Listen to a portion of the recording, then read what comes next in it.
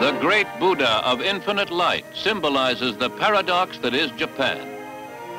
The Japanese are deeply steeped in ancient traditions and beliefs, but at the same time, the country has taken its lead among modern nations. The ancient ways are still mirrored in the numerous Shinto and Buddhist temples.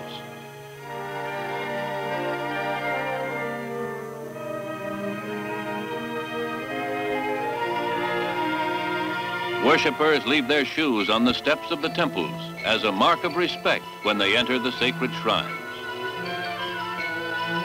The gods are honored with all of the splendor at man's command. Everywhere, the eye is dazzled by examples of Japanese art and architecture.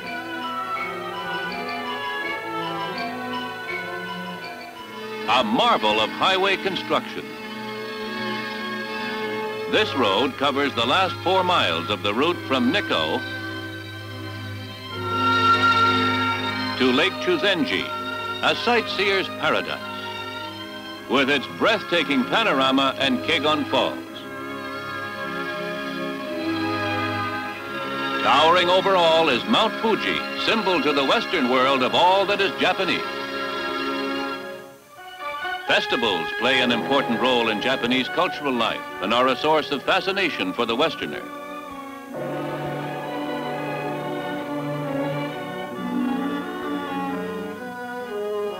This is a Buddhist ritual to initiate boys and young men into the priesthood. The carefully prescribed rites have been preserved through the centuries, and they have lost none of the feudal trappings that date from medieval times.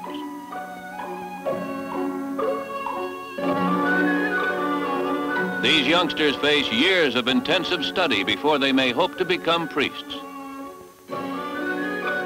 Once the emperor ruled the country from his palace, an absolute monarch as befitted the son of heaven. Today, the diet or parliament makes the laws. Japan now boasts the largest city in the world, Tokyo, the capital, with over 8 million inhabitants, a population greater than New York City.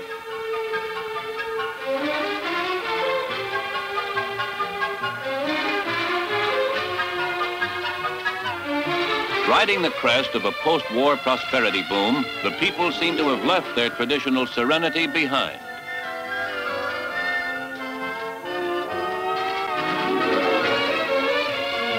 Public transportation couldn't hope to keep up with the population explosion. Twice a day, her subways are jammed to the limit.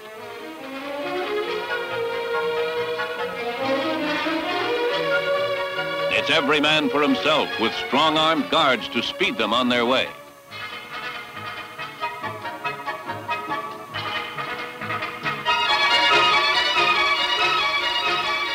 Tokyo is the hub of all the hubbub that is modern Japan. But tradition-bound customs crop up. The ceremonial attached to the exchange of business cards is a fascinating sight. Everybody exchanges them as some sort of status symbol.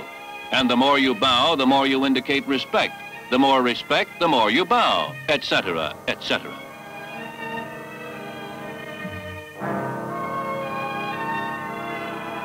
Most of Tokyo's buildings are wood, and fire is a constant concern.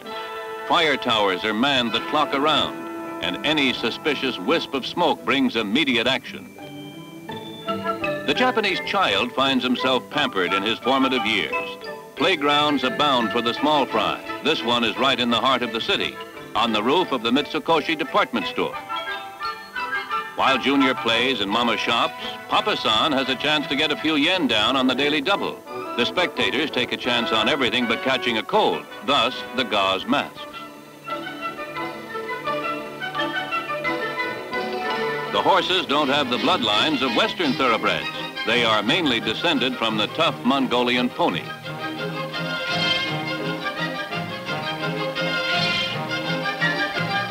Family ties are closely knit in Japan, and family outings to the numerous parks are a favorite form of amusement, especially on the days of national celebration, such as the emperor's birthday.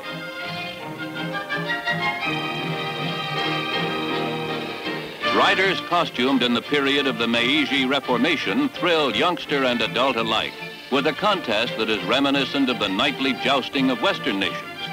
With bow and arrow, they attempt to shoot down the swinging targets.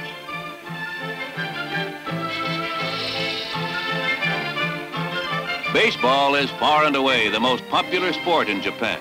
It was first introduced in 1873 and soon mushroomed as a spectator attraction. They miss half the fun, however. They never yell insults at the umpire. Perhaps the oddest sport in the world is sumo wrestling. Older in origin than judo or jiu-jitsu, it was already an established sport centuries ago. Sessions last from morning through late afternoon, and fans lunch right on the spot. The wrestlers are trained from boyhood, and part of that training is to fatten them up. For a sumo wrestler must weigh at least 250 pounds.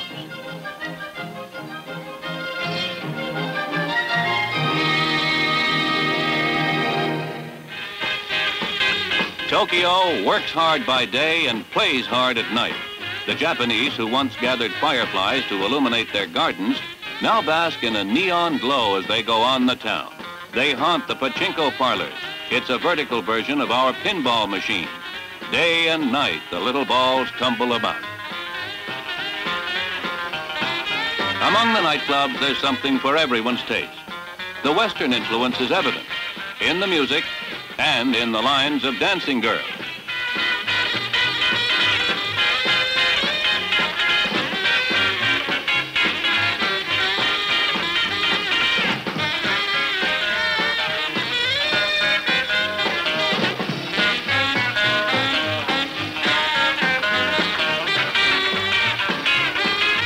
The Ginza is Tokyo's Times Square or London's Piccadilly Circus.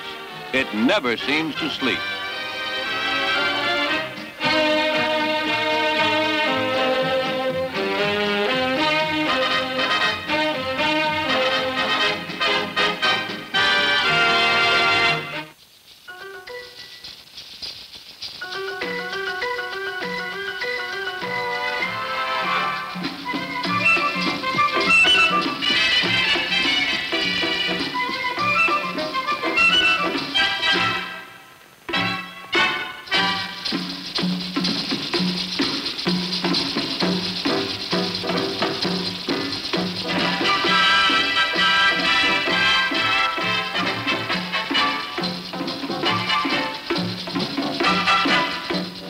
Are the stylized Japanese dancers of yesteryear? This is Japan Today, a marvel among modern nations.